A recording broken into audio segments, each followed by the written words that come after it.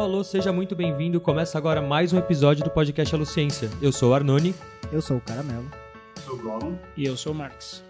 E hoje, para conversar aqui conosco, temos a presença da professora Maria Elice. Professora, Oi, Muito- pessoal. muito obrigado por estar aqui presente. É, e assim, acho que melhor do que eu ficar aqui lendo o seu Lattes, acho melhor a senhora se apresentar, ou no caso, você, Você. se apresentar. e aí contar um pouco sobre o que, que você fez, de onde veio, pra onde vai. Então, eu sou a Maria Elice, estou dando aula aqui no IB, né, no Instituto de Biociências da USP desde 2008. É, e trabalho com o grupo que cuida da licenciatura, principalmente. Mas a minha área de pesquisa e de formação é em História da Ciência. E, História da Ciência é uma das linhas de pesquisa para quem trabalha com ensino, então eu conjugo as duas coisas. Sou apaixonada pela história da biologia, adoro dar o curso de história da biologia e muito também das disciplinas da licenciatura. Gosto de mostrar essa, essa opção né, de estratégia de ensino aí, para que os alunos usem na sala de aula com os seus ah, lá na escola básica, né, com os seus futuros alunos. É, que mais que eu faço? Faço, sou ligada à Associação Brasileira de Filosofia e História da Biologia. É, a associação é bastante ativa, assim, no sentido de, de ter sempre. Todo ano a gente faz um congresso, é, a gente publica uma revista, publica um boletim. Agora vamos fazer um congresso grandão aí no, em julho, trazendo a Sociedade Internacional de História, Filosofia e Estudos Sociais da Biologia. Então vem gente aí de 30 países. É, também aqui no IB vai ser um evento bem legal. Então eu trabalho boa parte da minha dedicação profissional é para difundir a história da ciência no Brasil, particularmente a história da biologia. Maravilha, então, né? Temos aqui. Então, isso só deixou a gente um pouco mais nervoso para falar desse assunto agora, né? Temos uma. Ninguém pode falar besteira. Temos uma autoridade no assunto aqui. Não, eu tô mais nervoso ainda porque a professora falou da matéria dela de História da Ciência e eu cursei a matéria. É, e eu fiz a matéria da pós também, então não posso falar besteira. Então, não, eu, eu trouxe até. Eu trouxe até os portfólios que eu fiz pra citar durante o episódio alguns trechos que eu escrevi, mas agora eu fiquei mais nervoso, falei, Deixa, tu guarda esses portfólios. Vou perguntar alguma coisa, ela fala assim, é, eu falei isso na matéria. Deixa quieto então, professora. Mas como a, a professora Marilice disse, a gente vai abordar um pouco de história da ciência e vamos usar a disputa de Darwin e Lamarck para contextualizar e usar como exemplo para abordar diversos assuntos sobre historiografia e sobre livro didático, enfim. Vai ser um papo bem legal. Bora pro episódio então? Bora.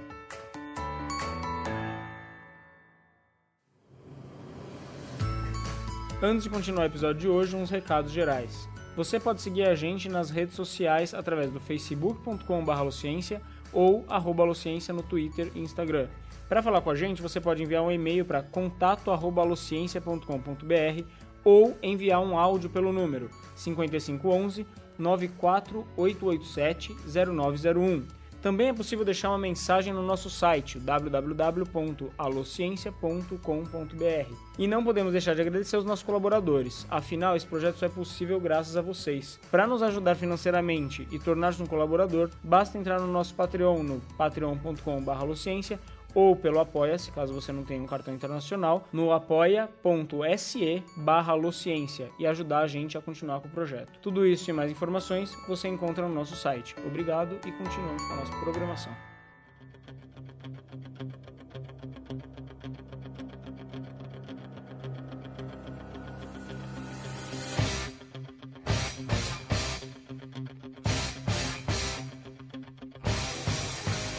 Bom, professora, vou, vou começar, vou tentar não chamar de professora. Bom, Vai, Marielice, Marielice, Isso. É, acho que a gente podia começar então conversando um pouco, definindo é, o que é história da ciência e o que faz uma historiadora da ciência, né? Para o pessoal que está ouvindo a gente situar um pouco. Uhum. Eu acho que é legal começar por aí mesmo, porque em geral as pessoas não conhecem a história da ciência, né? É, não é uma área é, é, com uma institu- institucionalização nem grande nem antiga no Brasil. Bem, então história da ciência, em primeiro lugar, é história. Ah, então eu tenho que ter uma formação, eu tenho que buscar uma formação de metodologia de pesquisa em história, tenho que trabalhar com fontes, né? entender o que são as, as fontes, onde que eu as encontro, como que eu trabalho com elas, como que eu analiso esses textos, Quais são as fontes do historiador? São obras de cientistas do passado, né, do historiador da ciência. Uhum. Então eu tenho que aprender a lidar com esse material e ter uma metodologia para trabalhar com isso. Além disso, se eu vou trabalhar com história de uma área da ciência, como é o caso aqui, né, história da biologia, é interessante que eu também tenha conhecimentos em biologia, porque eu vou lidar com obras que eu preciso entender o que, que o autor está falando. Então, eu uhum. tenho que ter o conhecimento de conteúdo científico também. Então, é uma formação. Eu preciso de uma formação múltipla, por isso que a gente não tem curso de graduação em História da Ciência. Em geral, o historiador da ciência ele é alguém que ou fez uma área científica, ou fez história, ou fez filosofia, ou fez ciências sociais. Ao fazer uma pós em História da Ciência, ele vai complementar essa formação com essas outras é, demandas né, de, de uhum. conhecimento aí que, que o historiador da ciência precisa.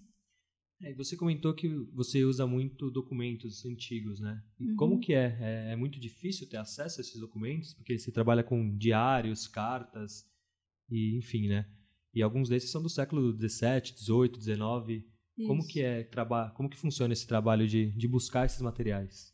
Então, a, outra, o, a gente diz que a metodologia de pesquisa em história da ciência é bem fácil de, de, de explicar, porque se reduz basicamente a uma frase.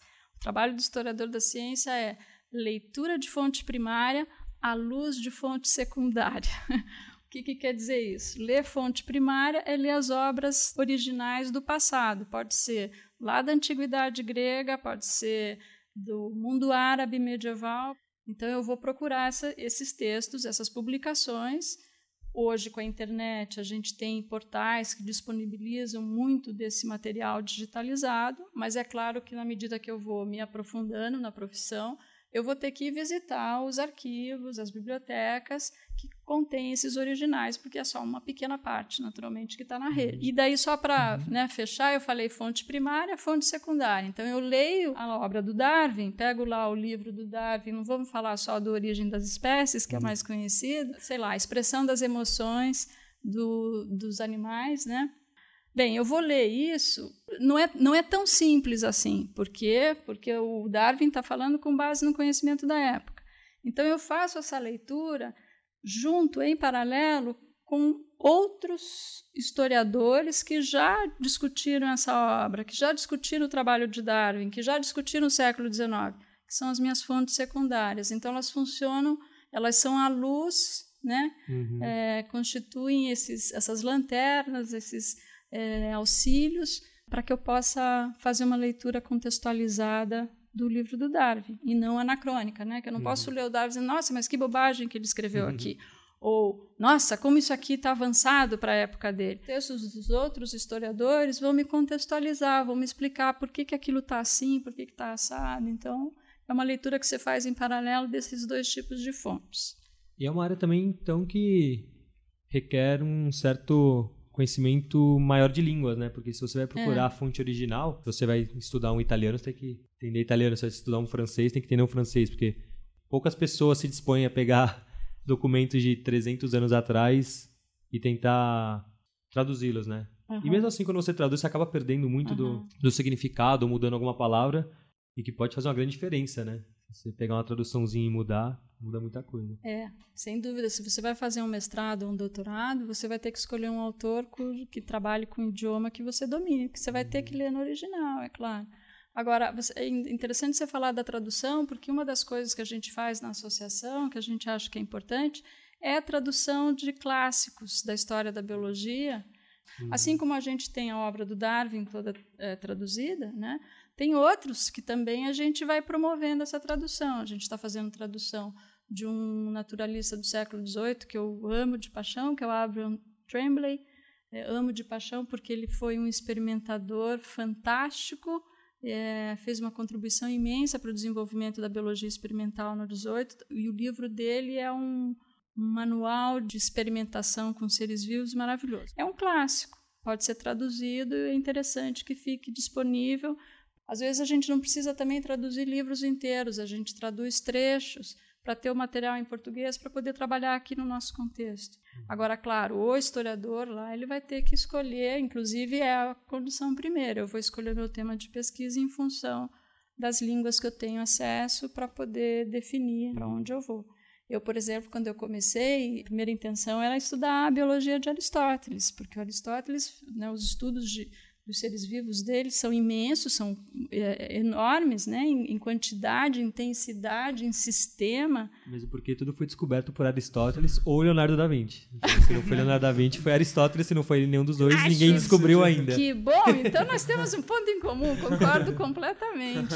Está tudo lá no Aristóteles da biologia demais, né? Tem muita coisa e a gente não, não, não consegue falar de história da biologia sem passar pela obra dele. E só que aí eu teria que estudar grego. Eu lembro que na época, né, eu era mais era jovem, eu disse, ah, não, gente, não, estudar grego não, acho que não.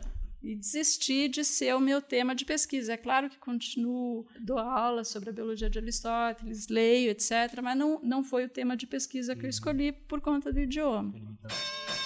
Falando no Aristóteles, talvez seja um dos caras mais injustiçados no sentido de como ele elaborou muita coisa sobre temas muito diversos, né? A gente olha às vezes e aí hipóteses deles não foram corroboradas, foi negada, a moleca, nossa, mas que ideia idiota, que ideia ruim, não sei o que lá. E o cara era, é. tinha lá o seu brilho, é. né? Então, esse é o maior desafio da história da ciência, eu acho, na, no ambiente de ensino. Né? Uhum. Porque, e quando eu disse há pouco, é importante falar o que é a história da ciência, porque, em geral, quando você ouve o nome, tá, contar a história, o que aconteceu com a ciência do passado. E a tendência é as pessoas acharem que todo mundo que viveu antes da gente era meio ignorante, né? Uhum que nós conhecemos tudo e eles falavam um monte de bobagem, como que eles não enxergavam, Chegamos como é que defendia a geração espontânea? Como assim? A, a introdução da história da ciência no ensino, principalmente, tem uhum. muito esse objetivo de desmitificar essa ideia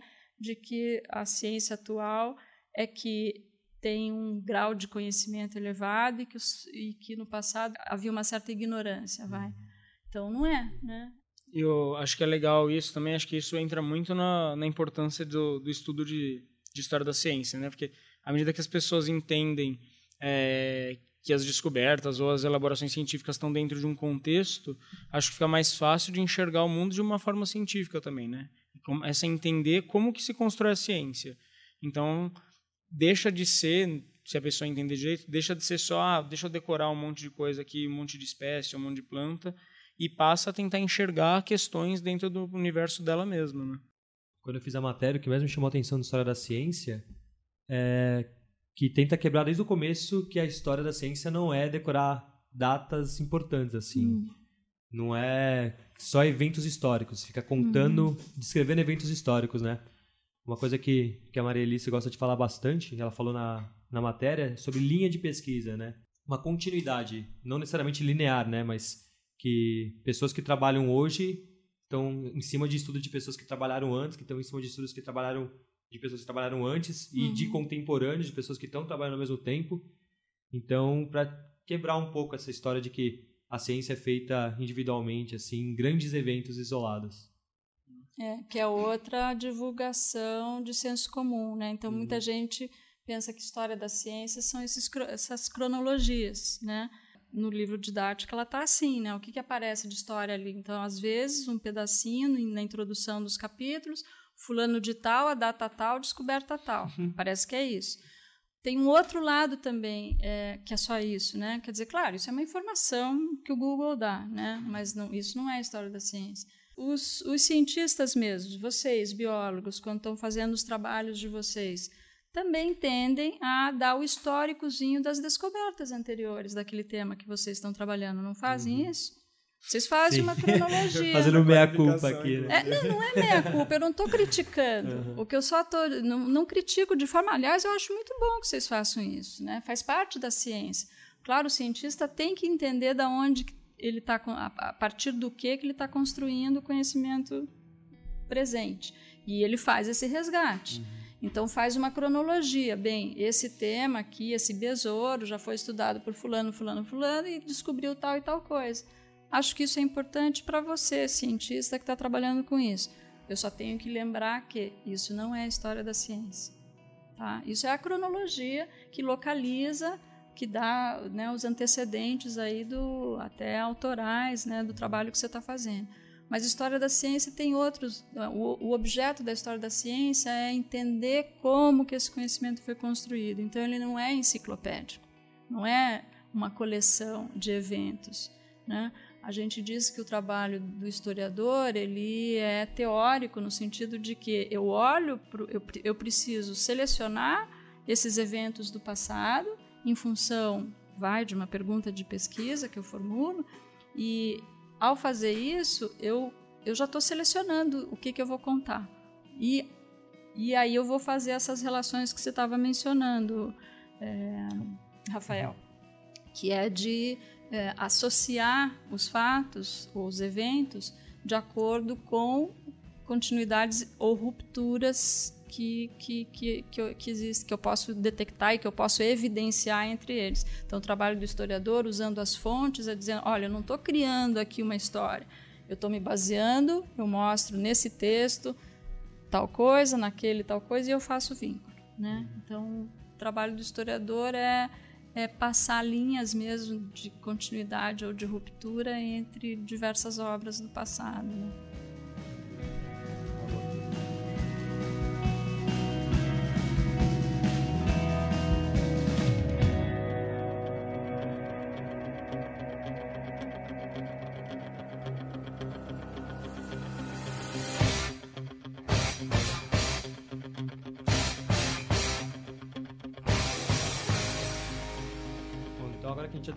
Pouco dessa história da ciência, historiografia, enfim, e de todos esses aspectos, acho que a gente podia falar um pouco, então, desse, do título do nosso episódio, que é a disputa Darwin-Lamarck, né? Então, acho que para começar, eu peguei aqui um estudo para uhum. apresentar como as ideias de Darwin e Lamarck estão presentes no, nos livros didáticos e no imaginário popular. Uhum. Aí eu achei um trabalho aqui do Argos de Almeida e do Jorge Falcão. Eles fizeram exatamente isso. Eles estudaram nos últimos 60 anos como que Darwin e Lamarck eram é, retratados nos principais livros didáticos. E eles dão, na, no trabalho deles, é um trabalho bem legal, eu vou pegar aqui só as tabelas, e elas me chamaram muita atenção. Então vou mostrar aqui a primeira tabela, que é como Darwin é retratado nos livros didáticos. Então ele analisou tanto a parte dos textos quanto as imagens. Então, quando vamos falar de Darwin, os textos que falam de Darwin, eles abordam 100% deles falam sobre seleção natural. 75% dele abordam sobre variações e 60% sobre viagem no Beagle. E aí vai descendo, né? E quando você vai ver as imagens que tem de Darwin nos livros didáticos, 40% das imagens são do próprio Darwin, os outros 40% são de viagens do Beagle e aí 25% são curvas de crescimento mostrando, né? Então a gente já viu que Darwin, quando fala de Darwin, você vê a imagem do Darwin e falando de seleção natural, variações e viagem no Beagle. Ok. Tava com medo que fosse o macaco virando Darwin. Confesso. Aquela imagem do macaquinho. Confesso que eu tava com medo que isso aparecesse. Mas já que você ficou com medo, vou te contar agora o que, que falam quando vem Lamarck. Quando você coloca Lamarck nos livros didáticos, 100% dos livros didáticos tem seu texto sobre herança dos caracteres adquiridos. 70% sobre filosofia zoológica e 55% o uso e desuso, que acho que é o, um dos mais famosos junto com a herança, né? E quando você vai ver imagens de Lamarck, as figuras que estão presentes no livro didático, 65%, por de, 65 delas são do alongamento do pescoço da girafa, né? E apenas 10% tem uma imagem de Lamarck. Então, se a gente colocar um contra o outro, já dá para perceber bastante assim, né? Você coloca Darwin, o cara que é o viajado, o cara que descobriu a seleção natural, variações, etc o Lamarck ninguém sabe quem é, porque tem a girafa no lugar dele. Então a galera pode achar que o Darwin, o Lamarck, desculpa, é a própria girafa que adquiriu caracteres assim, usou tanto o pescoço que ficou grandão. Não, e fazendo um parênteses rápido, aí acho que essa pesquisa não aborda, né? Mas infelizmente acaba falando um pouco, inclusive, do Wallace, né? Uhum. Acho uhum. que acaba sendo uhum. escondido às vezes, né? É, acho que entra um pouco até no que a Maria Alice citou, é, um pouco de quando começaram as vezes navegações só ia viajar ao mundo quem tinha muito dinheiro, né? E o Darwin que não era o caso do Wallace. É, mas era, era, o caso do, do Darwin. O Darwin tinha era uma família abastada. É. Assim como vários outros pesquisadores da época, né? Infelizmente o Wallace, apesar de ter também conseguido chegar em bastante coisas da, da parte da teoria da evolução, por talvez não ter tanto dinheiro, Quem sabe se ele fosse mais rico que Darwin, a gente estaria falando hoje da teoria de Wallace e de Darwin. Bom, mas afinal, voltando um pouco no assunto, será que o Darwin é realmente esse herói que a gente acha e o Lamarck é esse vilão? De jeito nenhum. Lamarck não é vilão nenhum. Lamarck foi uma pessoa extremamente importante, fez um estudo muito sério, né? Era um, um, um... A história do Lamarck é, é, é, bem curiosa. Ele, a primeira coisa que ele fez foi publicar. Ele era pobre, tá? Então você quer relacionar aí com as condições, né? Com certeza. O Lamarck tinha, tinha poucos recursos e tinha que sustentar a família. Então ele ele trabalhou no exército francês e por conta dele estar no exército, ele viajou pela França. E isso deu para ele condição de fazer o quê? Nas horas vagas, fazer levantamento da flora francesa. É que todo mundo quer fazer nas horas vagas. Nas né? horas Nossa, vagas. Tô fazendo nada, eu vou tô fazendo nada. listar as plantas aqui da Exatamente. França. Vou listar as plantas desses lugares que eu estou passando. E ele não só fez essa listagem, como publicou uma flora francesa em três volumes, que foi um sucesso de vendas. E ele, por, por um bom tempo, ele sobreviveu com base na venda desse material. Ou seja, ele está na França, século XVIII, né? aí é, é, a gente está num momento em que tem vários naturalistas de bastante destaque, muita gente publicando as, a, os livros de botânica, os, a, os levantamentos, né? E o livro dele se, se destaca, né? Ele consegue sobreviver com base nele. E aí vem é, né, todo o problema da Revolução Francesa. Ele era ligado à Academia de Ciências, que é fechada, tal, e ele fica sem ter para onde ir. Ele consegue ser absorvido pelo antigo, né, Jardim de Plantas, que hoje é o Museu de História Natural de Paris. Só que ele vai para o Jardim de Plantas e o que acontece? No Jardim de Plantas já tinha os botânicos, donos das cadeiras e responsáveis lá pelo, pela, pela parte de botânica. Então dizem para ele, ó, só que aqui não vai dar para você trabalhar com botânica, né?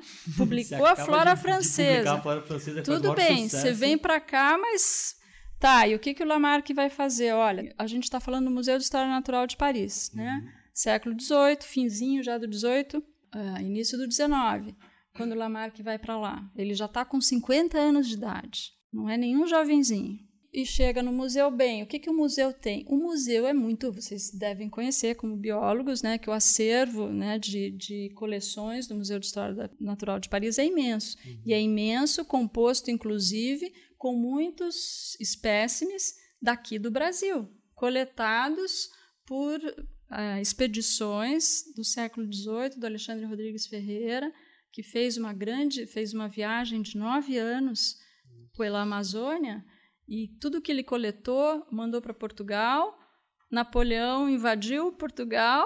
Tudo que estava em Portugal foi transferido para o Museu de História Natural Napoleão em Paris. roubou tudo nesse mundo, cara. É. Você vai para o Egito, não tem nada no Egito. Ele só não roubou as pirâmides, o resto é. ele roubou tudo. Devia então, ter quatro pirâmides. Foi, foi, parar tudo lá em Paris. Boa parte da coleção, por exemplo, do Alexandre. Só para dar um exemplo, mas o Museu de História Natural de Paris tem coleções do mundo inteiro. Um pouco porque os próprios franceses financiaram viagens, né, expedições científicas para fazer coletas, e outras como essa daí, né, que foi espólio de guerra. Eu estou mencionando esse caso em particular porque o Lamarck chegou lá, tá? Então o que, que tem para o Lamarck fazer? Olha, tem toda uma coleção de animais inferiores que precisa ser catalogada, que está lá jogado. Lamarck disse, tá Nossa, bom. jogaram para o estagiário, né? É, o estagiário vai lá começar a organizar a seleção. E ele não vai organizar qualquer seleção, ele vai organizar a seleção dos animais inferiores. Isso, daqueles pequenininhos que ninguém. O naturalista que, que acaba levando ele para lá é o Buffon, é uma pessoa de muito prestígio, é um naturalista também importante. O Buffon dizia que, que uma, um inseto só deve ocupar na cabeça do naturalista o mesmo lugar que ele ocupa no mundo.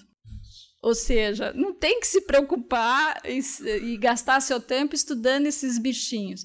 O Buffon só gostava mesmo, Se era dos grandes. critério de diversidade, né? É, de critério de diversidade não interessa. besouro, nem tem besouro. Não Ninguém vai tinha o isso. menor prestígio trabalhar com isso. E é isso que sobra para o Lamarck. Muito bem. Então as pessoas dizem o Lamarck é um tonto, o Lamarck só fala bobagem.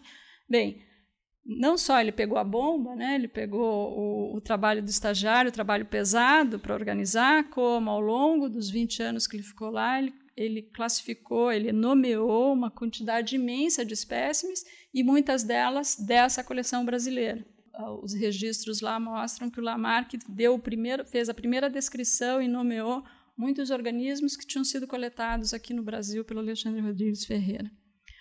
E ele estudou tanto esses animais inferiores que até então eles eram conhecidos só como, né, eram era o grupo dos, dos que vem também lá de Aristóteles, né, as classificações dos animais com sangue e sem sangue, que o Aristóteles dizia, na verdade era com sangue vermelho, né? Então era a, a divisão vertebrado e invertebrado, né? Era com sangue e sem sangue.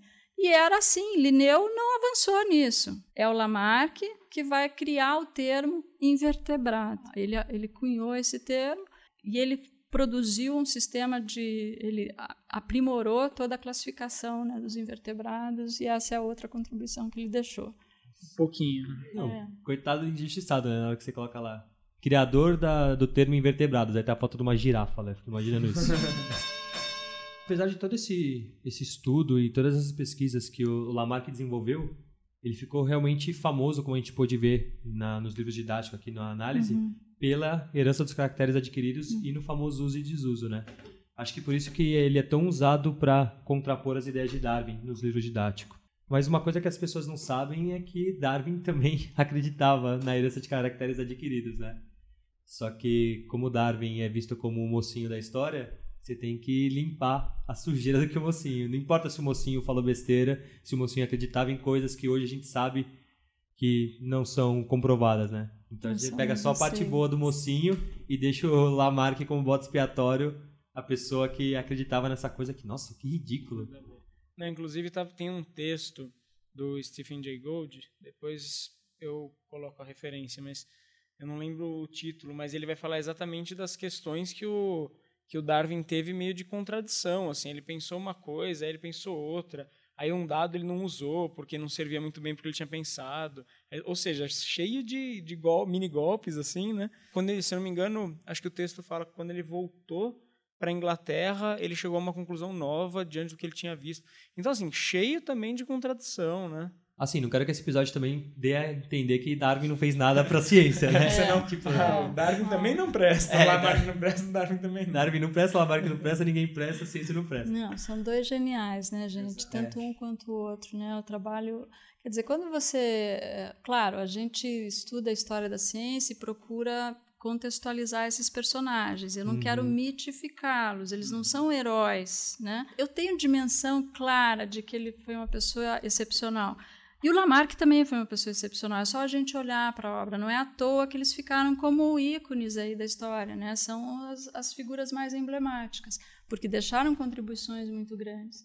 O Darwin, sem dúvida nenhuma, né, é absolutamente genial. Lembrem que tem um período grande, né, de distância entre os dois, aí de meio século, e o, o Lamarck ele tem algumas coisas ainda do século XVIII. E uma coisa que o Lamarck, talvez uma crítica que a gente possa fazer, e essa não seria uma crítica anacrônica, seria uma crítica da época, é que o Lamarck ofereceu menos evidências para a proposta evolutiva que ele estava apresentando. O Darwin não, né? Todo mundo conhece a história que o Darwin depois do Beagle, né? Ele só enquanto ele viajou, ele não pensava ainda em evolução, né? Foi depois que ele chegou no retorno, no estudo dos, dos organismos que ele tinha coletado. Mas aí ele ficou 20 anos coletando evidências porque ele sabia que ele estava soltando uma bomba no mundo, né? E estava vivendo numa época, né, a ciência vitoriana, né, a sociedade vitoriana e uma ciência já bastante calçada na evidenciação de observações e de experimentos. Então ele passou 20 anos para encontrar essas evidências e a gente sabe também que ele, o que fez ele publicar foi a chegada da notícia do Wallace, senão podia ser que ele ainda ficasse mais 20 anos ainda é né, para ter certeza, para levantar muitos dados. Na época do Lamarck, isso não se colocava dessa forma. E o Lamarck fazia muitas coisas lá no museu. Então, se eu analiso a obra dele, eu posso dizer: olha, os contemporâneos tinham razão em cobrar que, que, ele, que ele não tem evidência suficiente. Tá? Essa é uma crítica legítima. Que mais? Dizer que ele, a questão da herança de caracteres adquiridos é extremamente, é, é um, é assim, é um, é um ícone dos problemas da história da ciência, porque é exatamente como você disse, né, Rafael? As pessoas acham que o Lamarck defendia e o Darwin, e daí isso não aparece em Darwin. É exatamente o oposto. Primeiro, herança de caracteres adquiridos era algo que todo mundo acreditava desde Aristóteles. Então, quando Lamarck ele menciona herança de caracteres adquiridos, a primeira, ele nem discute, dá pouquíssimos exemplos, porque era conhecimento de todo mundo. Ele não precisa se, preocupar com isso. Ele já passa para o uso e desuso, já passa para os, para os outros aspectos. Então, o Darwin, na verdade, ele vai escrever um livro inteiramente, quase que inteiramente dedicado à questão da herança dos caracteres adquiridos, que é um livro chamado Variação dos Animais e Plantas sob Domesticação, a tradução. Né? Ele não está publicado em português, mas nesse livro ele expõe, ele relata experimentos, procura dar milhões de evidências para a herança de caracteres adquiridos. E por uma razão, que o Darwin, ele na verdade, gente, a gente acha que ele só fez uma teoria, né? O que, que você conhece ele, do Darwin? Ele fez a teoria, ele entrou a... num barco, ficou 20 anos navegando, desceu do barco e falou, galera, a teoria da evolução tá aqui, ó. E deu um livro pra gente chamado Origem das Espécies. Então, mas o que, que você sabe do Darwin? Que ele propôs a teoria evolutiva. Coitado do Darwin. Imagina, ele fez muito mais do que isso. Ele propôs uma outra teoria também, que ninguém fala, que ninguém conta. Por quê? Porque, como você também já tinha dito antes, que hoje a gente não aceita mais, então a gente deixa de lado, vai, a gente perdoa e esquece. Que Manda foi uma teoria sobre a herança, teoria genética. Uma teoria de como se dá a transmissão de caracteres. Inclusive mutilações, né? Ele trabalhava com Então, e aí ele vai.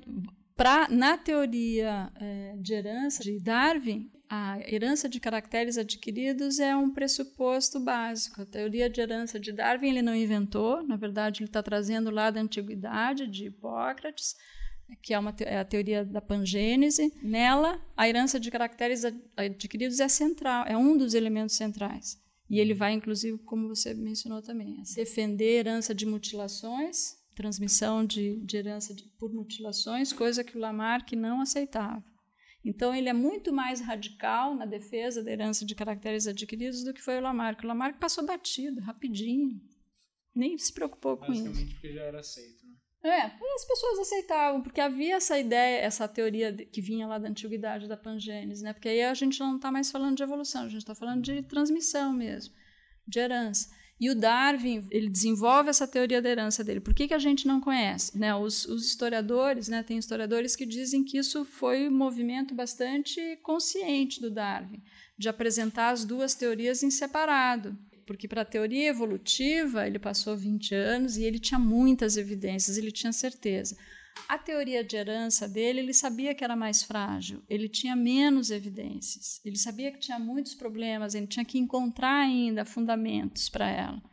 Se ele pusesse tudo num livro só, ele dançava. Né? Quer dizer, a teoria evolutiva ficaria comprometida. Tem historiador que diz isso. Foi uma estratégia bastante consciente do Darwin de se separar e a teoria de herança ele apresenta nesse outro livro, no Variations, na variação dos animais e plantas. Foi bem esperto, né? É. Assim, se eu sei, se eu tenho um conhecimento que eu sei que tem grande possibilidade, vou escrever um livro legal aqui, todo uhum. bonitinho. Isso aqui que eu não sei né? mais ou menos, eu escrevo aqui no papel do pão.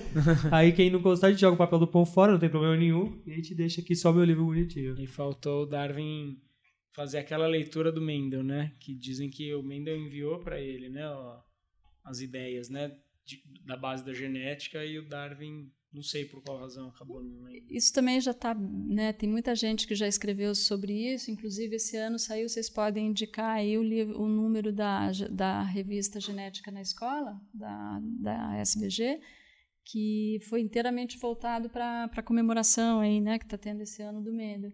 E tem algum, tem dois ou três artigos ali que retomam essa discussão. Tem muita coisa para falar, mas para mim é bem simples assim. O Darwin conheceu as ideias do Mendel? Sim, conheceu. E por que, que ele não por que, que não casou né, herança com, com evolução ah, na cabeça do Darwin? Porque ele tinha uma teoria diferente da do Mendel na cabeça. Ele tinha a sua pangênese. Então aquilo ali que o Mendel falava não fazia sentido nenhum para ele. Não tinha por que ele ir atrás daquilo. Porque o Darwin tinha uma teoria de herança que era a pangênese. Que a gente sabe que hoje né, foi descartada, foi uma, uma ela é, vem da antiguidade e, e, a gente sabe que são as ideias do Mendel que são retomadas no início do século XX e dão origem a que a gente chama de genética, né, agora. Bom, e sobre a questão dos livros didáticos continuarem usando essa disputa, já que a gente está falando tanto que é uma coisa que está equivocada e tal, sei lá, parece aquela reportagem que é reproduzida, um jornal copia do outro, um jornal copia do outro, e fica a reportagem aí a de eterno, uma reportagem mal feita e tal. A gente sabe que está tão equivocada, por que que continua esse Darwin versus Lamarck? É, então, e vocês mesmos já tinham algumas hipóteses aí, né, uhum. como estratégia, é isso? Estratégia didática? Acho que pode ser, uma, como assim, o livro didático, ele tem um tamanho limitado, você uhum. não pode escrever, enfim, você tem outros temas para abordar, uhum. então você tem que resumir. Então vamos resumir a evolução. Vamos pegar duas pessoas, dois ícones sobre evolução. Aí, uma estratégia didática muito fácil, você pega uma pessoa no qual as ideias dela são muito bem aceitas hoje, apesar de terem sido modificadas, mas ainda são bem aceitas, e uma pessoa cuja grande parte das ideias não são mais aceitas. Então você fala um pouco de um, contrapõe com o outro. Não, primeiro você fala do errado, aí depois você vem com o certo e mostra o quanto o que estava errado é ridículo e feio e isso facilita muito porque você ganha muitas páginas que você poderia desenvolver grandes argumentos e grandes debates, você só faz essa disputa com dois grandes uhum. ícones históricos. Assim. É, e, e, o problema que gera isso, né, também pensando em problemas já, é que o professor se baseia muito pelo livro, né? Então a aula acaba virando uma reprodução do livro e parece que. E é só essa informação que está ali. É, né? exatamente. Uhum. E até pelo tempo de aula, o professor vai lá, se baseia no livro e fala: Ó, oh, galera, o Lamarck pensou isso, o Darwin pensou aquilo vida que segue, o Darwin estava certo. Depois não se fala mais em evolução também. Então, mas aí é o lado da estratégia, né? Quer dizer, quando você está dando aula, né? Vocês dão aula, né? Você está uhum. dando aula, não sei se todos os quatro. De certa forma, um a gente dá algumas aulinhas. é um recurso que o professor usa, né? Quer dizer, a gente é, tem que trabalhar com questões interessantes, tem que motivar o aluno. Então, você trabalhar com contraposição, com dualidades, com esse tipo de disputa, essa é uma estratégia né, uhum. que, que motiva. O problema é que ela está totalmente desconectada da verdade histórica, né? Uhum. Da verdade, não. Da, das interpretações históricas que a gente dá para os eventos e para o papel desses personagens. Então, acho que a, o professor que cria situações de motivação para aluno, ele precisa ter um certo especialmente quando a gente está falando de ensino de ciências, tem que ter um compromisso com, com dados que têm evidências e tal. Né? A gente não está fazendo ficção. E nesse caso, então, está errado. Acho que tinha que sair do livro didático. Né? A gente é, sabe exatamente que a grande limitação é o espaço.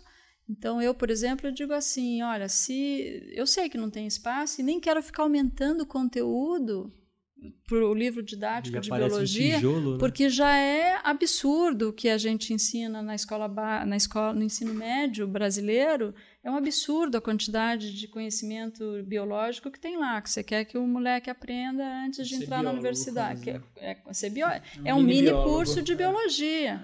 A gente brinca que o professor que dá aula no ensino médio, ele é o cara que mais conhece biologia, talvez mais do que nós aqui no IB, que somos um é da botânica, outro é da física o professor do ensino médio tem que conhecer toda a biologia porque ela está inteira lá. Então, claro que eu não vou defender que o livro didático ainda amplie mais 100 páginas para conteúdos de história. Eu sei que isso não é esse o caminho. Então, o que seria um caminho seria, tá, então vamos esquecer essa coisa de enciclopédia, vamos ganhar esse parágrafozinho aqui, mais três linhas nesse outro capítulo, mais as, o, a coluna do quarto capítulo, aqueles pedacinhos de história que tem, tira tudo isso e ganhe três páginas. Troque isso, que significa muito pouco, e ganhe três, cinco páginas para daí contar um episódio de história da ciência. E aí, essa história, daí você conta, bacaninha, um pouquinho mais contextualizada, uhum. pelo menos, mostrando que não é um e outro, mas são muitos pesquisadores, que a ciência é uma construção coletiva, que existem controvérsias, que existe, o caminho não é sempre linear, progressivo, mas tem idas e vindas, tem continuidades e rupturas, como dizem os historiadores. E aí, então essa seria uma saída, né? Uhum. Tira os pedacinhos e transforma em bloquinhos maiores, onde você possa fazer algumas abordagens exemplo. A gente não quer que o aluno do ensino médio conheça toda a história da biologia, mas a gente acredita que é legal ter esses episódios bem trabalhados, porque por meio do estudo desse, a gente consegue discutir como a ciência é feita. E se eu vejo assim, se eu discuto como ela foi feita no passado, é claro que daí o professor também vai fazer as relações com hoje. Então, a ideia de ter a história da ciência lá no livro didático é para que o aluno conheça como que aquele conhecimento foi produzido, o que, que, precisaram pesquisar, que tipo de pergunta fizeram, que tipo de investigação foi feita. Que tipo de recurso tinham também, Que tipo né? de recurso Porque tinha à disposição. Um dos grandes mal entendidos assim que eu vejo de muitos alunos é quando você fala alguma coisa que muitos pesquisadores acreditavam há séculos atrás, eles falam: "Nossa, mas como assim?" Como se o aluno o aluno acha que eles tinham acesso a microscópio de varredura e sequenciamento um de DNA a, um iPhone ao Google, Google né? né? A gente tem que entender o contexto no qual essas pesquisas eram Isso. feitas, né? Qual o material disponível, tanto material físico assim quanto instrumentos, né? A gente nos últimos, no último século principalmente desenvolveu tecnologias assim absurdas. O que a gente desenvolveu nos últimos 50 anos, talvez em É. séculos É. anteriores a gente não, não desenvolveu tanto. Não precisa nem ir tão longe, né? Se você for ver, pega a nave que levou a galera lá pra Lua, ela tinha menos tecnologia, assim, de computação mesmo, de processamento de dados, do que, sei lá, uns carros mais modernos hoje em dia. Que usam ingestão eletrônica, usam tudo que usam pelo menos um pouquinho ali de... Não, o nosso celular hoje tem mais tecnologia e mais capacidade do que o foguete que enviou a Homem-Lua. É verdade. Jura mesmo? Podia estar indo pra lua e tornou iPhone. Eu troco. Dane-se esse celular. A coisa do, do, do Lamarck e do Darwin, acho que a gente a gente está aqui criticando o livro didático, mas preciso também ah, apresentar uma outra explicação para isso para vocês, que é histórica. Né? O que aconteceu quando, não sei se vocês já ouviram falar no chamado eclipse do darwinismo, né? O Darwin lançou o livro dele, foi aquela, aquele estrondo, né? E, mas muitos, ele teve muita resistência e muita crítica dentro da ciência, inclusive dos físicos que não, não, não aceitavam a datação, né, que ele propunha, que diziam, imagina, mas a, a idade do Sol é muito menor do que isso que, que, a, teo, que a tua teoria está prevendo aí. Então houve muita, muita controvérsia no ambiente científico. E houve um momento, se não me engano foi o Peter Bowler, que chamou de eclipse do darwinismo, uma época em que, que, que, já, que já são as, os últimos anos ali do século XIX, que parecia que, que não era bem aquilo, que não, não era bem o que o Darwin estava falando. Nesse momento também, simultaneamente, na, especialmente na França, mas em outros lugares, tem uma espécie de renascimento, da, uma retomada dos trabalhos do Lamarck. E, e, e se desenvolve o que se convencionou chamar de neolamarquismo. Então você tem, digamos, disputas de modelo teórico que estão ocorrendo e ne, no contexto dessa disputa é que se criou esse antagonismo entre os dois. Então eu não estou mais falando do Lamarck nem do Darwin, eu estou falando dos neolamarquistas dos neodarwinistas, então neolamarquistas 100 anos depois de Lamarck, neodarwinistas, o Darwin já tinha morrido, 10, 20 anos, mas são outras, são interpretações dos trabalhos deles. E como eles estão em disputa entre si, foi sendo criado essa, esse antagonismo. Na verdade, a gente diz ainda que, que esse é um episódio, vai, é um tema de história que ainda precisa ser investigado, mas a gente sabe que precisaria percorrer esse, essa disputa para entender de onde que veio, de onde começou essa contraposição, porque o autor do livro didático não inventou, ele tirou isso da historiografia. Quem criou essa versão foram os historiadores.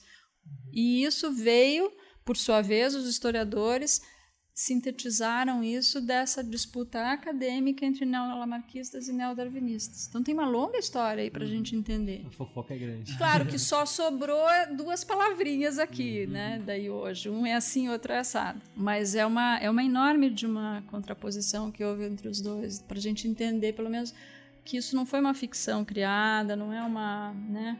É, isso tem um fundo histórico também e que ainda não foi devidamente estudado. É um tema que a gente é, é, é uma dessas coisas que está faltando aí ainda um, um, um estudo aprofundado para tentar esclarecer melhor, né? Claro, nessa a gente está falando do início do século XX, que é quando a história da ciência começa a aparecer enquanto tal, né? E nesse momento a gente está essa história da ciência aí ela vem, ela se institucionaliza no momento em que você tem uma predominância de, de filosófica e de visão de ciência do século XIX em que vale o que? O conhecimento positivo, né? A uhum. grande influência do Augusto Conte. do. Então interessa o conhecimento positivo. O que não for aceito não interessa. O historiador está contaminado por essa ideia. Então, quando você mencionou que ele joga para debaixo do tapete o que o Darwin falou de errado, é porque ele sabe que interessa em ciência aquilo que é verdade, que é, que é, que é aceito hoje. E o resto deixa para lá. Então, a, o próprio historiador da primeira metade do século XX criou essas histórias é, do herói, né? criou esses mitos e só contou os fatos positivos de cada, de cada né, personagem do passado. Então, tudo isso a gente tem que levar em conta para entender por que, que tem essas simplificações. É muito mais complexo. Inclusive.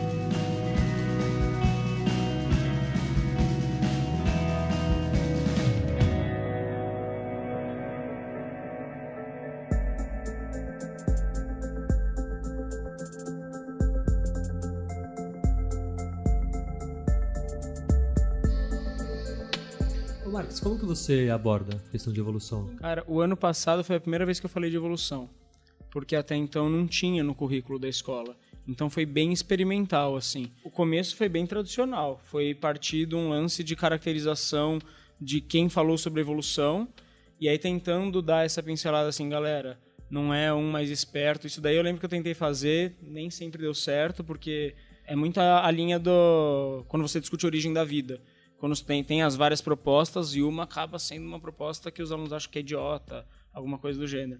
Então, mesmo tomando cuidado, os alunos caem nisso, de ah, o certo, ah, o errado. E mesmo você falando que eu lembro, eu tinha acabado de ler de novo aquele livro paradidático do Diogo Meyer, Evolução Sentido da Biologia, se não me engano. E eu tinha acabado de pegar essas ressalvas. O, o Darwin defendia a é, herança dos caracteres adquiridos. Então eu soltei tudo isso para eles e falei: ó, oh, galera, tem uma parte do livro didático que a gente vai usar. Agora, não tá falando tudo do jeito que era de fato. Só que os alunos deram aquela surtada, né? Porque acho que eu também dei muita coisa de uma vez. E como assim você vai negar o livro didático? Cara? Eles olharam e falaram, essa girafa não é Lamarck? Exatamente. E aí eu tentei pegar um pouco Aí depois dessa apresentação geral, que também não pode durar muito tempo, você vai para conteúdo, porque eles têm tendências a, a negar o que a gente conhece por evolução. Eles não, não sacam o que é desde seleção natural. Não falamos de outros processos evolutivos, tipo deriva, tal, fica só em seleção natural.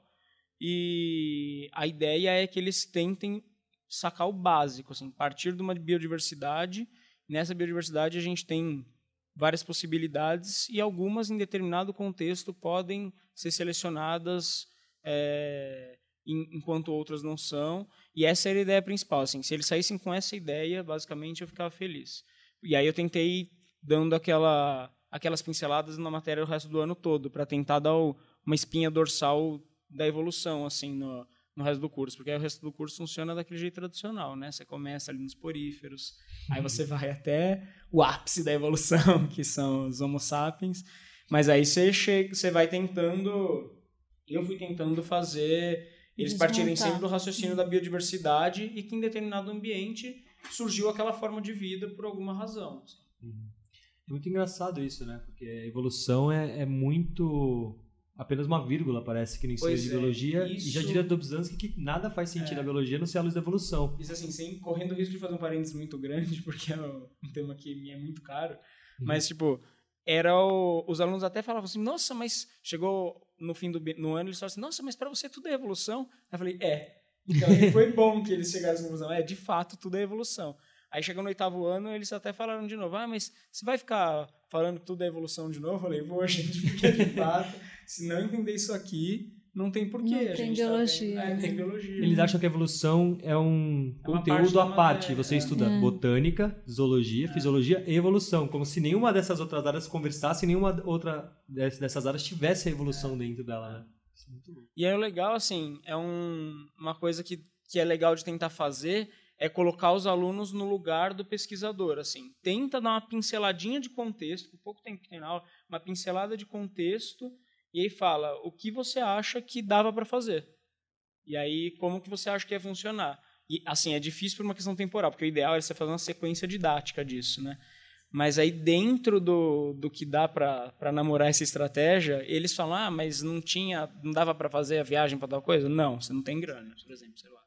É, eu acho que o desafio para trabalhar com história da ciência no ensino é saber colocar as perguntas, né? Uhum. E a partir da pergunta, daí como você estava falando, que condições que tinha, que, que, ele, que, que instrumentos, que recursos e que conhecimentos ele tinha para responder essa pergunta. E com isso você reconstrói de forma não anacrônica, né? Porque senão a gente uhum. cai em muitas injustiças. Acho que agora a gente podia, retomando um pouco do que o Marcos falou sobre a sala de aula e sobre o livro didático que a gente estava discutindo, como que a gente podia mudar isso então, né? É, talvez talvez essa não seja a melhor estratégia né, para se ensinar história da, da ciência. Então, o que a gente poderia fazer, tanto como formação de professores, como produção de material, para evitar que essa, esses equívocos e injustiças históricas continuem sendo passados? A gente tem aqui, atualmente, a gente tem uma comunidade internacional que são de que é formada por pessoas que fazem que atuam tanto que, atuam na conjunção da história da ciência com a pesquisa e ensino, né? Uhum. Justamente pensando, se dedicam, é, que é um pouco o meu caso também agora, né? Eu é, desde que entrei na USP eu, eu, foquei muito mais em como utilizar a história da ciência no ensino. Continuo fazendo a minha pesquisa em história da biologia por si só, né? É, mas principalmente a orientação de alunos aqui e os cursos são voltados a desenvolver estratégias e desenvolver temas que interessam para ser levados para a sala de aula. E como fazer isso? O grande desafio é o como. Porque a história da ciência, até uma aluna disse: olha, a história da ciência é leitura. É leitura e o nosso curso aqui, né, para graduação de licenciandos, né, claro, é muita leitura. Se você não lê os originais, as fontes originais, se você não lê os historiadores, eu não tenho curso. Então é um curso baseado na leitura. E ela, a conclusão dela, a história da ciência é leitura. E aí a gente já vê qual é o problema de, de trabalhar com história da ciência lá na escola básica. Né? É, o que, que eu vou fazer lá? Eu vou dar textos e textos para os meus alunos lerem? Né?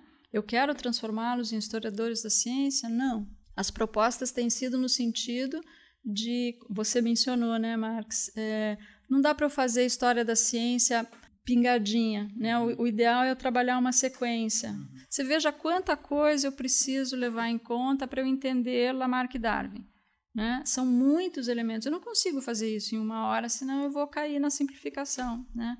Então a ideia é sempre trabalhar com. Eu, eu separo uma sequenciazinha de aulas. Para essas aulas, cinco, seis aulas, e eu planejo uma atividade. A gente gosta de associar é, ensino por investigação, né? de colocar o aluno ali no lugar daquilo, então trazer a pergunta que estava norteando aquele estudo é, simular situações em que o aluno tente responder essa pergunta, podemos até fazer replicação de experimentos históricos, como a gente fez com Darwin já.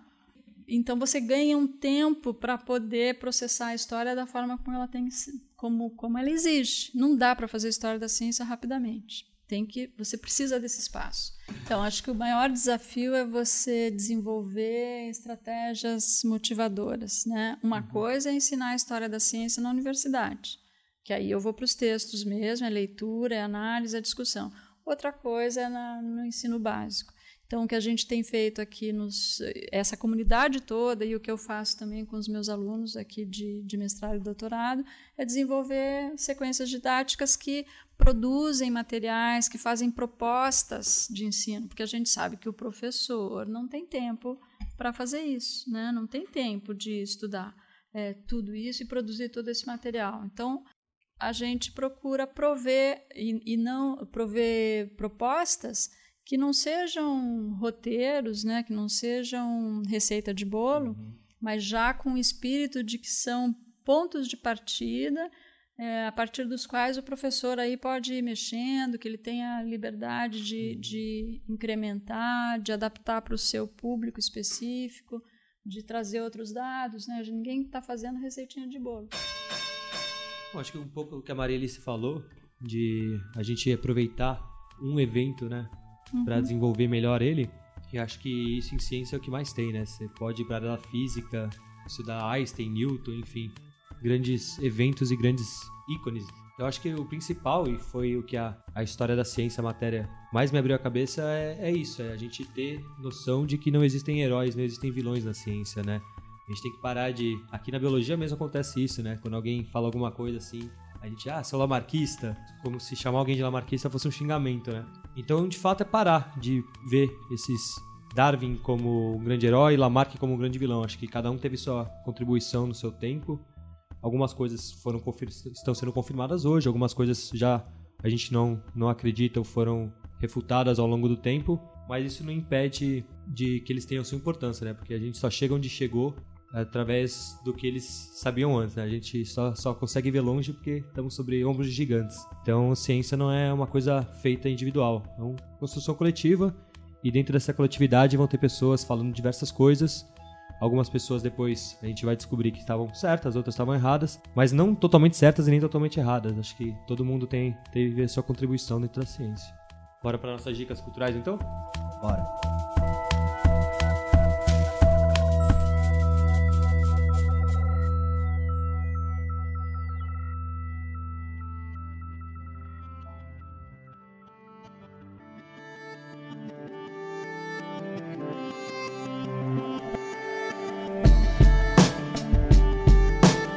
Então agora é a hora que a gente fala uma dica cultural, alguma coisa que a gente gostaria que os nossos ouvintes soubessem ou lessem.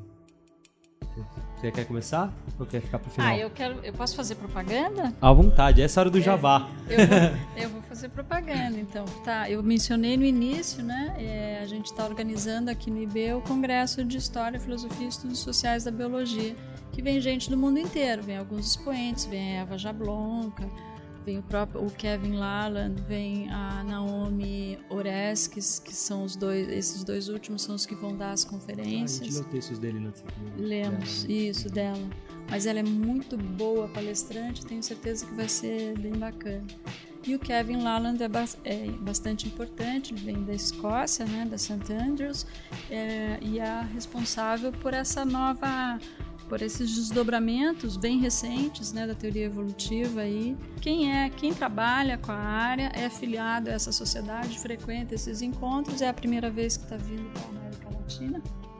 E, então é uma oportunidade é, para os brasileiros, né, para quem está aqui em São Paulo, para quem puder vir, vai ser no mês de férias, né, em julho, do dia 16 a 21 de julho, aqui no Instituto de Biociências. As inscrições para apresentação de trabalho já se encerraram, mas as inscrições para ouvintes, né, para visitantes, vão abrir, é, vão ficar abertas de março a abril. Então é legal ter pessoas que têm interesse, né?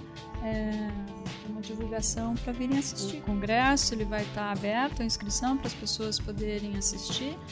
No entanto, ele é um congresso internacional em inglês, né? Então não tem tradução simultânea, é só, só as apresentações todas serão em inglês. Minha dica vai fugir um pouco do tema biologia. Eu vou um pouco no encontro do Caramelo, que gosta de, de sugerir CDs, então eu vou sugerir um CD que eu tenho ouvido muito é, esses últimos dias, que é chama O Grande Encontro. Eu tô ouvindo muito dois, que é da Elba Ramalho, Zé Ramalho e Geraldo Azevedo. Esse CD tá no repeat faz, tipo, semanas, assim. Então eu gostaria de sugerir que é um CD que tem alegrado meus dias. Olha só, invertendo então a ordem natural das coisas, hoje eu vou sugerir algo sobre o tema.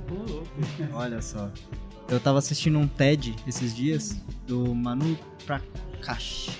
Acabou a bateria do meu computador aqui, eu não consigo lembrar direito o nome dele, deixa eu pegar. É Manu Prakash. Ele é um indiano que ele estuda no MIT e ele ele propôs um microscópio que é muito parecido com o microscópio de Leo, Lewin, Leuwenhoek, que é com uma lente só, que você aproxima muito do olho, você monta, só que ele é feito todo de papel dobrado, E ele bolou esses modelos pensando em doenças, é, como diagnóstico de doenças que atacam muito em algumas regiões da África.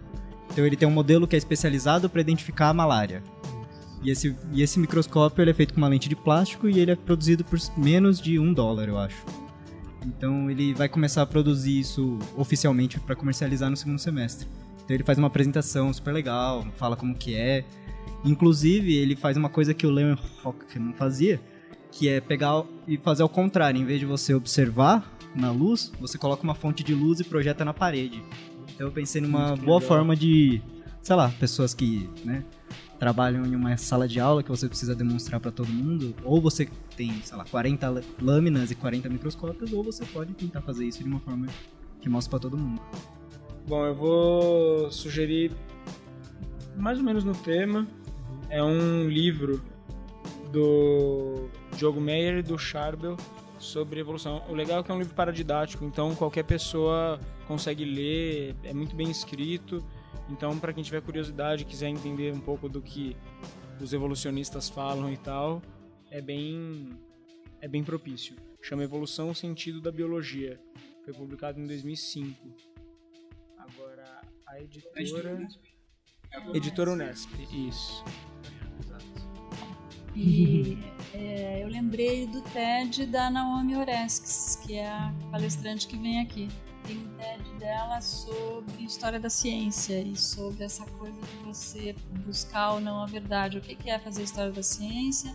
E, e, e uma discussão que permeia também os, os 15 minutos dela ali, a questão de o que é isso, o método científico existe o método científico, é uma coisa que separa o conhecimento científico das outras formas de conhecimento, e ela trabalha isso com evidências de, da história, e ela vai aprofundar lá casos da história da física. Mas ela é muito boa, é muito bacana, divertido e instrutivo. Nossa, maravilha. O texto dela é realmente muito bem escrito. Finalizando o episódio, gostaria muito de agradecer sua presença. Muito obrigado mesmo por ter vindo. Acho que contribuiu bastante né, na discussão. Nada melhor do que ter uma autoridade em história da ciência aqui para conversar com a gente. Então, muito obrigado pela participação. Eu que agradeço o convite de vocês e parabenizo né, pela iniciativa. Acho que é, é isso, a ciência é isso, divulgar a ciência é importante. E, e hoje vocês estão sabendo aproveitar as possibilidades né, que a uhum. tecnologia está oferecendo. Acho muito bacana o que vocês estão fazendo. Então, é isso aí. Muito obrigado e vamos para os nossos e-mails então. Bora.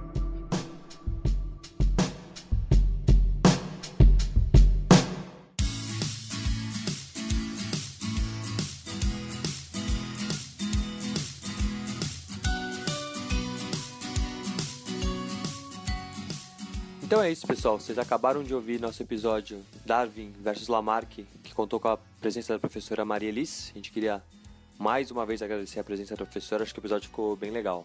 Acho que, acho que sim, acho que já deu para ter uma boa noção de quem ganha a grande treta entre Darwin e Lamarck, né? Que é ninguém. Exatamente. Bom, então vamos dar uma lida nos nossos e-mails. A gente. Nós leremos agora os e-mails com relação ao último episódio, que foi Sumiço das Abelhas, né, do Black Mirror, que foi um, talvez, acho que o episódio mais baixado nosso até agora, né? Sim, foi o, de fato foi o que deu mais, é, o que subiu mais o número de downloads em menor tempo, isso de longe, né? Acho que o pessoal tá meio interessado nessa temática Black Mirror. é, acho que é meio assustador, né? Bom, então bora para as mensagens. Acho que a primeira mensagem a gente recebeu no nosso site. A primeira mensagem é do Carlos Trovó. Ele mandou no dia 3 do 2 o seguinte: Boa tarde, pessoal do Holociência. Ótimo episódio 10. Parabéns. Suge sugestão de informação básica. Ciclo de vida. Uma colmeia de apis melífera contém em média 50 a 60 mil indivíduos, sendo a maioria composta por operárias, alguns zangões e apenas uma rainha. O tempo de vida varia. A rainha vive em média de 2 a 5 anos, o zangão cerca de 80 dias e as operárias de 32 a 45 dias. Abraços, Carlos Trovó. Aí o Carlos Trovó mostrou que foi pesquisar depois do nosso episódio do Sumis das Abelhas, em Arrasou. É, acho que os dados que ele trouxe dá para fazer um paralelo das colmeias com a nossa vida, né? Enquanto ele colocou lá que a rainha vive de 2 a 5 anos, as operárias de 32 a 45 dias. quem vive no Brasil sabe do que eu tô falando, não é mesmo? É, infelizmente a realidade ainda é essa. Tá bem, tá bem Black Mirror também, né? Mas então, Carlos, muito obrigado pelas informações que você mandou aqui. Deu pra ver que você estava com o Google aberto enquanto ouvia nosso episódio. Então, maravilha. A próxima mensagem que nós recebemos foi da Jane Ferreira. A gente leu a mensagem dela no último episódio, né? Que ela falou que queria fazer um mestrado, mas infelizmente o projeto não tinha sido aceito. E aí o Gollum falou que tinha ficado curioso sobre o projeto dela. E aí ela ouviu nosso episódio e mandou uma resposta. Ela diz: Eu estava passando horas assistindo vários vídeos de ciência no YouTube e notei que seria muito massa usar isso na educação. Sou formado em comunicação e tudo que eu produzi na faculdade foi a respeito da relação comunicação e educação. Afinal, muitos educadores odeiam as mídias e não se atentam na forma de aproveitá-las. Bom, parênteses, acho que a gente já aborda, abordou isso em alguns episódios, né? Ah, totalmente, né? Sempre fica bem abandonada. É a velha discussão de sempre, né? Deixar as ferramentas de lado, né? Aí ela continua a mensagem assim: Então eu sempre gostei de tirar esse ódio do coraçãozinho deles em meus artigos e na monografia. Já para o mestrado, eu tentei com os canais científicos, como suporte de educação, o que é o Telecurso 2000 da era digital. E ela mandou um ha, ha, ha, ha que no último episódio também a gente tentou usar o, a leitura de risadas, mas acho que a gente falhou um pouco sobre isso. A gente tá mandando muito bem nas dramatizações, mas a gente vai melhorar esse ano, tá no projeto 2017 Aluciência. Bom, vou voltar a frase então dela aqui, que ela colocou assim, né? O que é o Telecurso 2000 da era digital, hahaha. Só que com uma abrangência muito maior e acesso também. Resumo do resumo é isso. Escrevi várias outras inspirações, porém ano passado não deu. Acredito que preciso melhorar e muito meu projeto. Aqui as coisas são bem acirradas e eu escrevi o coitado em dois dias no meio de uma campanha política que estava trabalhando. Vou tentar de novo e vou citar muito vocês. Obrigada pela menção.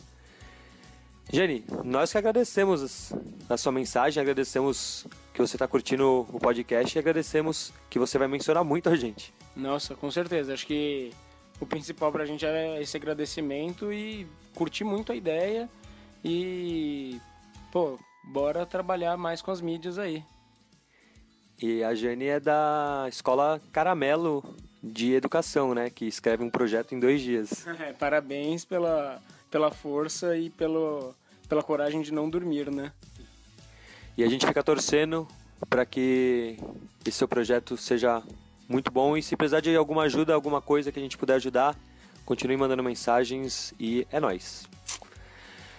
Bom, acho que agora acabamos as mensagens. A gente queria dar alguns recadinhos rápidos, correto? Muita coisa aconteceu durante essa semana, né, Marcos? É, não falei que a gente ia voltar com muitas aspirações depois das férias?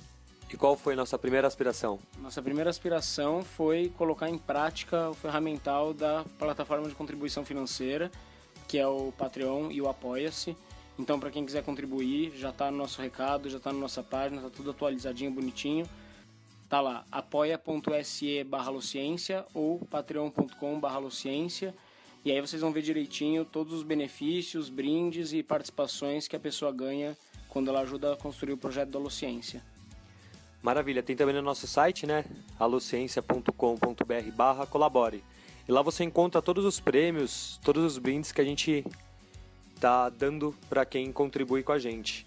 E uma coisa que eu gostei muito é que todo mundo que contribui com a gente ganha. Não importa se você doa um real ou um milhão de reais, todo mundo que contribuir vai ganhar algum brinde, vai ganhar alguma lembrancinha do projeto. É, e lembrando, né, se não tá rolando, ele dá aquela contribuição financeira, porque não tá fácil para ninguém. Só de você dar aquela compartilhada, aquela divulgação para um amigo, contar na escola, etc., já ajuda demais o Alociência. Ajuda muito. E são graças aos nossos colaboradores que a gente está conseguindo melhorar, né? Conseguimos comprar microfones novos. Quem acompanha a gente no Instagram viu que compramos microfones novos. O nosso som acho que está melhorando, a edição está melhorando. Então, de pouquinho em pouquinho, a gente vai conseguindo, através dessas colaborações, melhorar. E uma das coisas que a gente conseguiu também foi mudar o nosso logo, né? Conseguimos, depois de um tempo, a gente já estava pensando em mudar o logo. E 2017, nesse pacote de mudanças que o Marx prometeu, veio o novo logo. É, a ideia do novo logo é abranger mais áreas do conhecimento científico, né? Para quem conheceu o nosso logo antigo, viu que tinha muitos aspectos de laboratório, era basicamente uma área da ciência. E agora a gente tentou abranger outras formas de ciência que não só da biologia, mas também de ciências gerais, inclusive humanas, astronomia, etc. É, mostrar que a ciência está também no laboratório, né, mas não restrita somente ao laboratório, né? A ciência está em todo lugar. Então acho que foi meio isso que a gente tentou colocar no nosso logo, que por sinal, queria agradecer ao Gollum, né, ao Jefferson e ao Lucas Andrade, que foram os responsáveis pela arte do nosso novo logo. É, mais uma vez arrasaram muito e todo mundo que encontra com a gente, cruza com a gente, comenta. Os desenhos estão ficando muito bons e a arte de computador também está ficando muito boa, então parabéns para os caras estão mandando muito bem. Então, Marx prometeu algumas novidades e já mostramos duas aqui por enquanto, hein? É, e olha, não é querendo prometer não, mas vai chegar mais. Eu ouvi YouTube, eu ouvi pessoas, eu ouvi essas coisas? Eu acho que você ouviu. Bom, sem dar spoilers, né? Acho que as novidades vão surgindo ao longo do ano aqui. A gente tá com um tempinho agora, conseguimos organizar um pouco melhor a vida e temos tudo para fazer o Alociência crescer mais e mais e mais. Exatamente, até dominar o mundo. Mas, antes da gente dominar o mundo, queria aproveitar para fazer uma divulgação aqui de um podcast parceiro, que é o Dragões de Garagem. Eles deixaram de ser só um podcast, só entre aspas aí, né, porque dá um trabalho do cão, é, e viraram um portal. Então agora, além de trabalharem no Dragões de Garagem, eles têm um outro podcast que se chama Trabalho de Mesa. E eu não ouvi ainda, mas confio muito no trabalho, então já vou aproveitar fazer a divulgação, vou ouvir e depois vou compartilhando nas redes sociais aí. Bom, o Marcos não ouviu, mas eu já ouvi. E o episódio eles abordaram o 3%, né, aquela série brasileira. E eles trazem uma, uma leitura bem do teatro e das artes cênicas mesmo sobre a série. Eles fizeram uma crítica muito legal com a visão cênica e do teatro. E acho que tem, tem tudo para ser um grande podcast. Inclusive, o Heineken, que é o, um dos responsáveis pelo podcast, ele já escreveu pra gente um tempo atrás. A gente já leu uma mensagem dele aqui. Ele já participou do, do Dragões de Garagem também. Então fica aí a divulgação do trabalho de mesa, do Dragões de Garagem, de outros podcasts como Pode Entender, o Eureka, o SciCast, enfim. Podcast de ciência de qualidade aqui no nosso país. Então acho que é isso, galera. Valeu por tudo e até o próximo episódio. Ou quando tivermos mais fichas. Valeu!